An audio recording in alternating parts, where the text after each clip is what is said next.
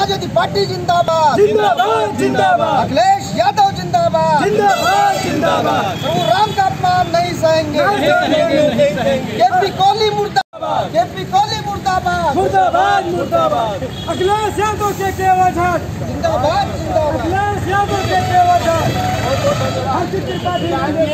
City magistrate को आज की तारीख में ज्ञापन दिया है।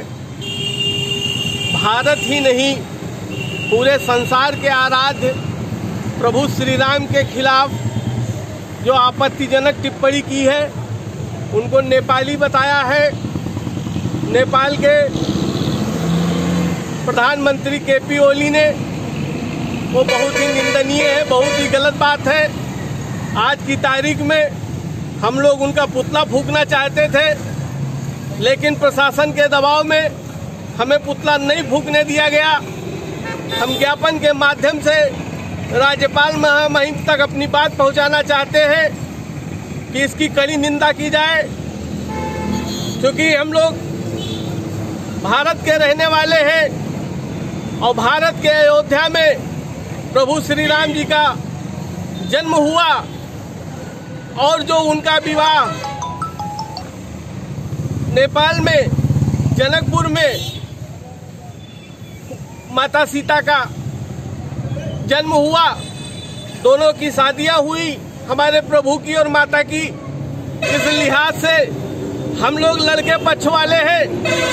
प्रधानमंत्री ओली को, जो नेपाल के हैं, उनको डर है कि कहीं दहेज में ये हम लोग लड़के वाले जो भारत के रहने वाले हैं, कहीं उनसे नेपाल न मांग ले। इसलिए डरते हैं वो, चाइना के दबाव में। वो ऐसी अमर्यादित टिप्पणी करते हैं इसकी मैं घोर निंदा करता हूँ। विधायक जी भारत और नेपाल का रोटी बेटी का संबंध रहा है। जो इतने मैत्रीपूर्ण संबंध रहे हैं भारत और नेपाल के हमेशा बेटियाँ और बेटों की शादी आपस में होती रही है लेकिन नेपाल के ओली चीन के दबाव में ये सब खत्म करना चाहते हैं वो चाइना के दबाव में चल रहे हैं और चाइना चाहता है कि इनके जो महत्वपूर्ण अच्छे संबंध हैं, उसको खत्म किया जाए, जिससे चाइना हम लोगों के ऊपर, हमारे देश के ऊपर आपत्तिजनक व्यवस्था कर सके।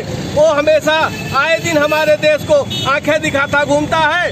ज़्यादा दिक्कत करेगा चाइना तो हम लोग चाइना को घेर लेंगे। हमारे प्रधानमंत्री सोए हुए हैं इस समय, उनको चाहिए कि चाइना का मुँह जवाब दिया जाए। विदित है, पिछले दिनों से नेपाल सरकार के प्रधानमंत्री द्वारा कुछ आपत्तिजनक टिप्पणियाँ की गई हैं, उस पर जनता में आक्रोश है। उन्हीं भावनाओं को व्यक्त करने के लिए आज ये ज्ञापन प्रस्तुत किया गया है। और जैसा कि इन लोगों की अपेक्षा है, वैसा यथोचित स्थान पर इस ज्ञापन को पहुँचा दिया जाए